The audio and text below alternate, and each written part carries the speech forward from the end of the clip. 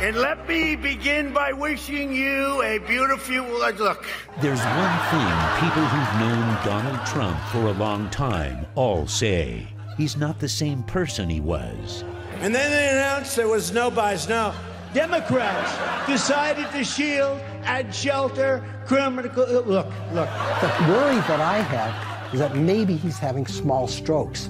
Sometimes he simply can't speak. An anonymous, really an anonymous. What must be going on in his mind?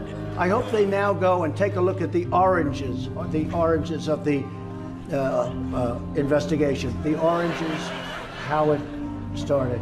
No one wishes ill health on the president, but a country needs a leader to be there. God bless the United States. A leader who's all there.